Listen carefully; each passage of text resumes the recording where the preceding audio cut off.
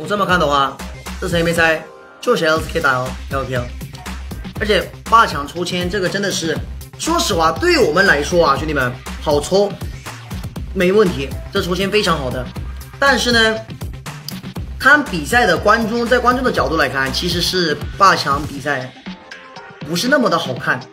观众还是更喜欢看 LCK 打 LPL，就比较精彩的比赛。你不说 LCK 打 LPL 吧，就是不管是什么赛区啊，我们想看的是比较精彩的比赛。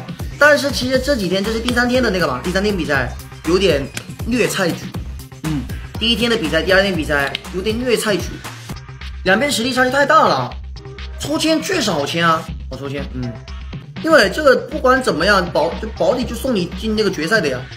LCK 那边也是进决赛，LPL 这边也是进决赛。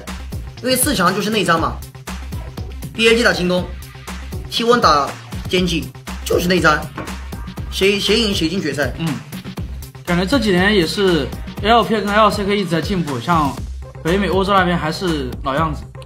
呃，其实欧洲赛区还可以，还可以，而且还有一个原因是，就是怎么说呢？呃，他们是这样，他们有他们的打法跟风格。他们每天都在研究新的套路，但是北美我怎么有点像他们的版本一直卡在一个一个点，就是他们每次版本落后两三个版本，你知道吗？他们比如说我们两个月前玩的英雄，他们两两个月后再玩。比如说我们三月份在玩的英雄，三月份玩的那个组合套路，他们是五月份在玩。会不会是他们偷的我们这边的？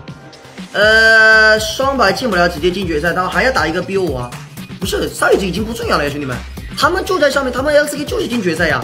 这两个队伍，我跟你们说，谁能赢啊？不是，你们在说的是废话呀，兄弟们。MAD 跟 G2 上打上来，赢的那个队伍是能赢 G2 吗？能赢 T1 吗？赢不了啊，那就是决赛呀。你们说的不是废话吗？那你们说 BAG 跟京东，C9 跟明天的那个 GG 这两个队伍赢了一个队伍上来，谁能赢 G BAG？谁能赢 GG 啊？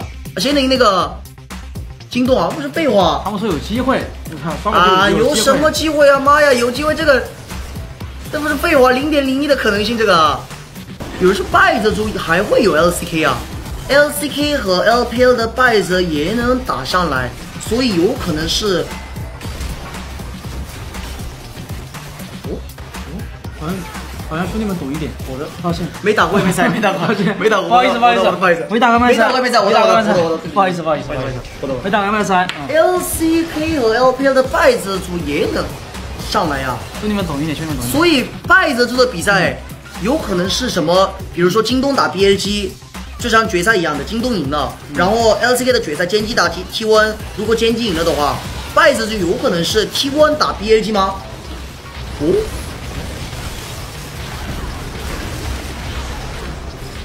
应该是这个意思吧？对，应该就这个意思。不好意思，嗯，没打过，理解一下。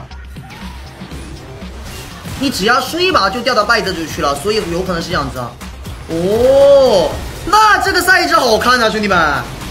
我说妈呀，如果是这样的话，妈呀，八强看完四强又要看那个，原来是这样的，难怪。那就好看，好看，还行，那好看。这不是跟 LPL 的季后赛不是一样的吗？LPL 的季后赛吗？好像是差不多的。这么看的话，感觉这种大赛的话，这种双败还可以。呃，我觉得，嗯，早就换这个赛季，早就该早就该换的。嗯，因为有时候确实有的队伍会当天状态，而且主要是战队之间也有科技关系，对吧？对。战队之间有克制关系，比如说这个队打这个队是完全打不过，那这个队打这个队是有点克，什么都有。有的。战队之间的克制关系的原因，所以我觉得这个双败感觉是比较合理，对合理。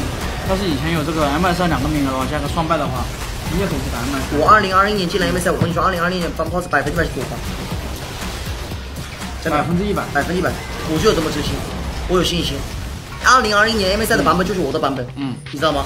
二零二一年下一赛跟 M 赛就是我的版本啊，你不记不记得？你每年都是你的版本，你二零年也这么说，一九年也这么说，滚吧，滚吧！你们还年没有说过滚吧！